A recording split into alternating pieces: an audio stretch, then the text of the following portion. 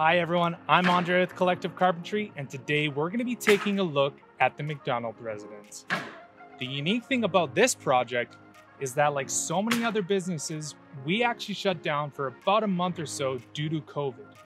This happened in the middle of the production of this project, but we were still able to get it done on time and shipped to Revelstoke.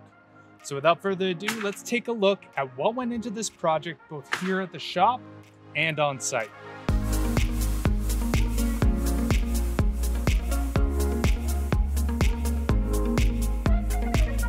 These two houses were built in Revelstoke, British Columbia. Revelstoke is known for its milder climate with temperatures averaging about 20 degrees over the summer and getting down to about minus 6 degrees Celsius over the winter. Generally speaking, the majority of our projects are either net zero ready or certified passive houses. But while this project was designed by an experienced passive house certified designer and maintains passive house airtightness, the limited space available requires a thinner wall design to maximize usable floor space, which kind of makes this house sort of a passive house light, certainly for the Revelstoke climate.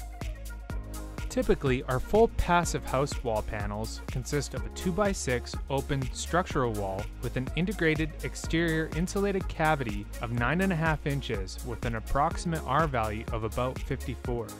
These particular walls maintain the 2x6 framing but they are pre-insulated with rock wool R22 bats and sheathed with a continuous layer of 60mm thick wood fiberboard, giving this wall an approximate R value of about 32. The wood fiberboard provides thermally broken, continuous insulation which contributes to a more energy efficient and comfortable environment. This can also be achieved with mineral wool, foam, or other materials, but wood fiberboard is among the most sustainable options for this application. When you combine the wood fiberboard with the rock wool insulation inside the cavities in this project, we are ending up with a nominal R value of about R32 and an effective value of about R26. Once the panels show up to site, the floor can be installed as well as some air sealing details. We use a small section of Pro Clima's Intello Plus wrap to bring the air tightness from the foundation around the floors to the walls sheathing. This is repeated for the upper level as well, walls are then flown into place and the building is starting to take shape. Each wall is essentially built as its own separate airtight unit, and after each panel is secured in place, the seam is then taped on the interior for air sealing. The exterior of each panel is also taped, resulting in a continuous weather barrier as well as a bit of air sealing redundancy. While the two buildings are remarkably similar, the only significant difference between the two houses is in the style of the roof. One of these houses has the site installed trusses flown in with the airtight materials and detailing done on site. The other house is more of our typical roof build-up, consisting of a single pitched roof that is built and insulated at the shop.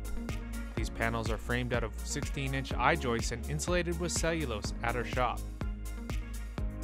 Once the walls are completed, the insulated roof is flown up in sections and fastened to the walls. After the roof is installed, an additional 2x4 framed exo layer is installed for venting as well as defining the roof's shape. Now that all the panels are in place and fastened down, the house is ready for the remaining structural, air sealing, and exterior weather barrier details. And once that's complete, it's hashtag taillights and on to the next project.